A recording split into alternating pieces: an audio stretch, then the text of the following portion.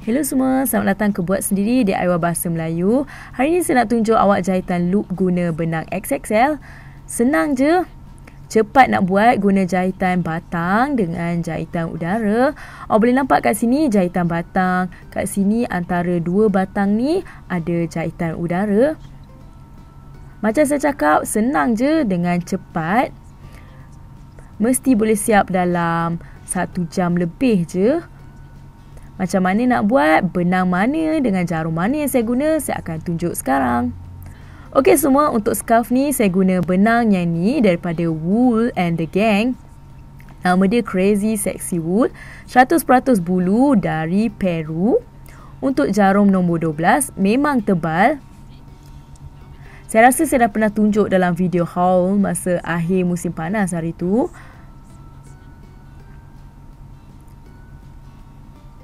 Saya nak tengok kejap. Saya memang suka mula dari dalam. Oh, boleh nampak memang tebal.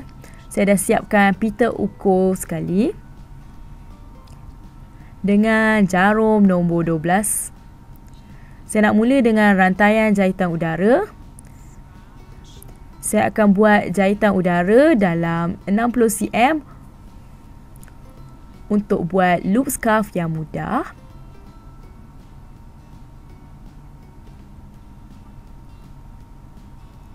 Saya nak tunjuk lagi sekali macam mana nak letak benang kat jarum. Saya letak benang kat tangan. Lilit kat jari saya. Masukkan jarum. Tarik benang ke atas. Lepas tu tarik. Jom mula. Satu, dua, tiga. Sambung lagi. Memang tebal.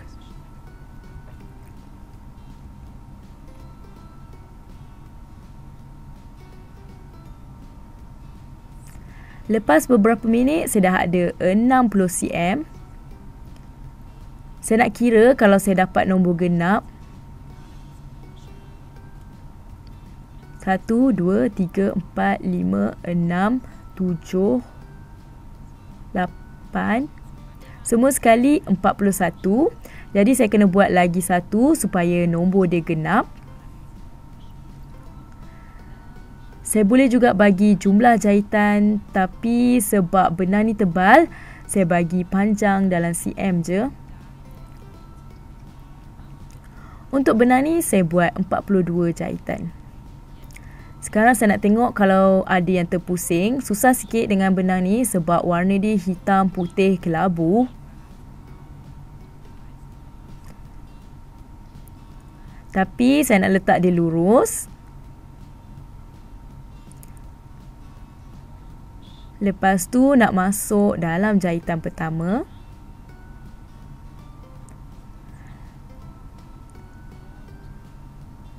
Saya gabungkan dia jadi satu gelung. Saya dah cucuk dalam jahitan pertama. Dah gabungkan dua-dua belah. Nak tengok kejap, saya letak dia lurus. Memang tak ada yang terlilit. Macam ni lah rupa dia sekarang. Sekarang saya buat empat jahitan udara untuk tinggi dia. Tiga untuk, untuk tinggi, satu untuk jarak. Semua sekali empat. Biarkan satu kat sini. Terus ke jahitan kedua kat sini. Lilit dulu. Lepas tu jahit batang. Lepas tu jahitan udara, biarkan satu kat bawah ni. Lepas tu masuk kat jahitan seterusnya. Buat jahitan udara lagi, biarkan satu lagi. Lepas tu jahitan batang lagi. Buat jahitan udara ke atas, biarkan satu kat bawah. Buat jahitan batang lagi. Saya akan jahit macam ni sekeliling dia.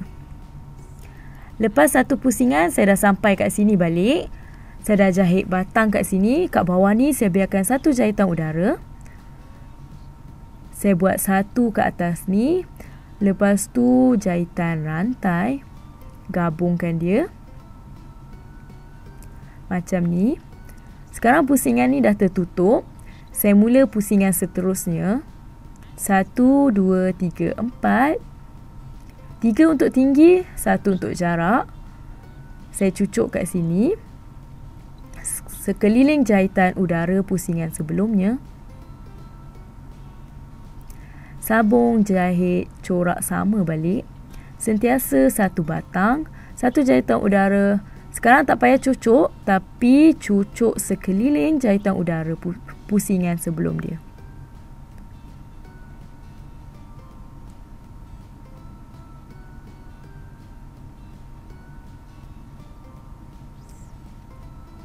Tarik benang sikit.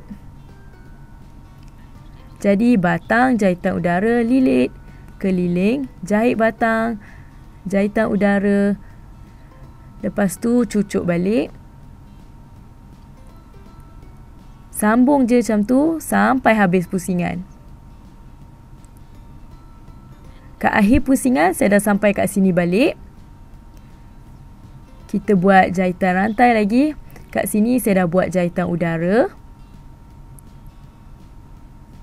Gabungkan semua. Macam ni rupa scarf saya setakat ni. Sambung lagi dengan pusingan ketiga.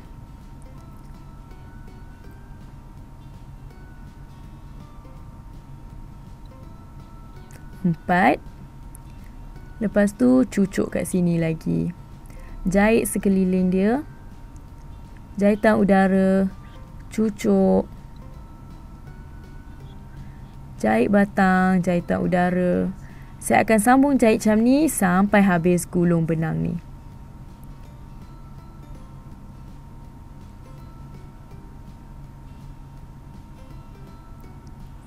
Okey semua, saya dah nak habis buat scarf ni.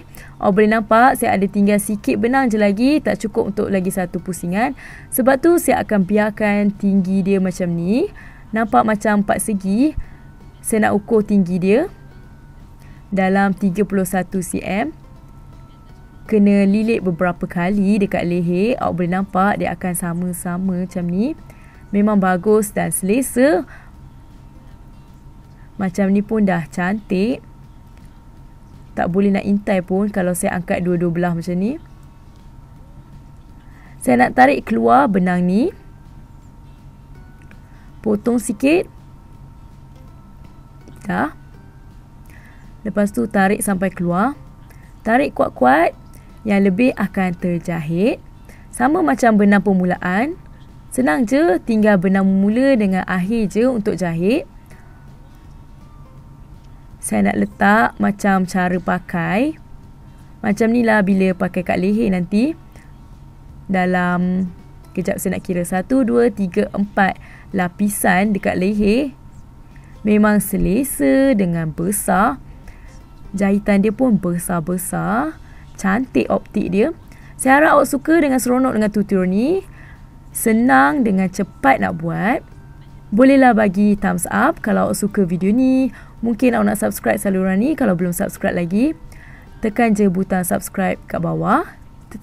Tekan butang loceng supaya tak terlepas video-video baru. Kita jumpa lagi lain kali. Dibuat sendiri di Awal Bahasa Melayu. Bye.